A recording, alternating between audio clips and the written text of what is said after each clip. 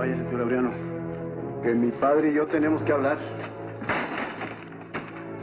De hombre a hombre. ¿Y qué tienes tú que decirme de hombre a hombre? ¿De qué trate?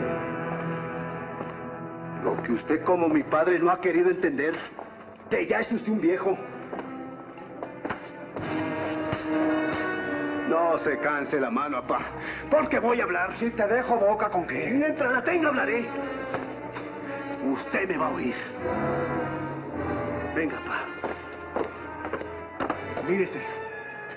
Mírese de una vez tal cual es ahora. Mírese esa panza, pa. Mírese esas canas. Esas arrugas. Antes se enamoraban de usted, sí.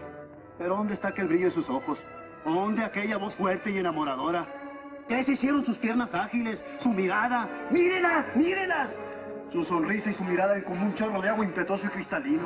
Ahora, ahora no es más que un triste chisquete que se pierde en la tierra agrietada por la seca final. Eso parece su alma y su cara, pa. ¡Cállate, Silvano!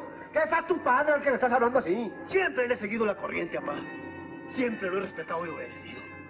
Pero ahora se trata de la felicidad de Josefita. Mi vida es Josefita. Y yo juro que la haré feliz. No jure lo que no esté en su mano cumplir, papá. No jure contra el tiempo, que es jurar contra Dios. Nadie puede vivir a contrapelo. Usted fue flor, maduró, dio fruto, ya cumplió, papá. No quiera seguir siendo flor, que ya no puede. Estoy joven todavía.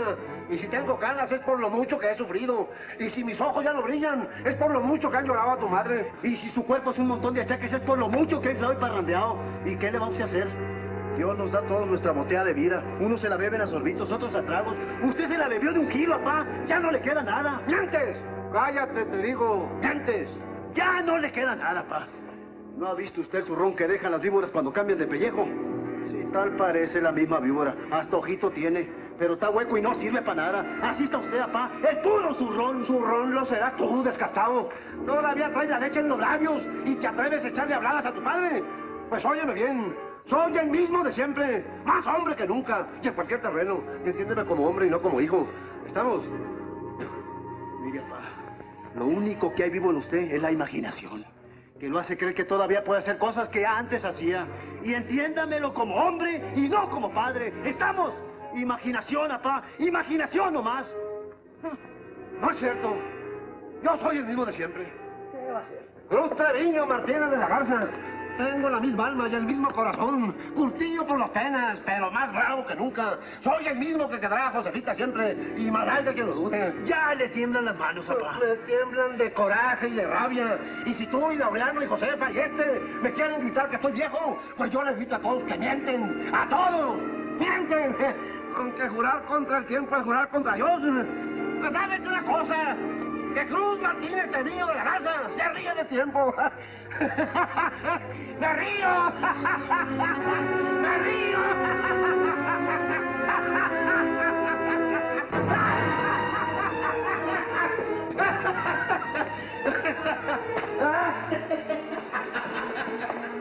¿Dónde vas, muchacho? Déjeme, tío. ¡Qué brutalidad hice! No, mijo. Cumpliste con tu deber. Solo tú podías atreverte a decir la verdad que no podía ver. Dios nos ayude. Cruz salió enloquecido reventando su caballo. Parecía el mismo diablo.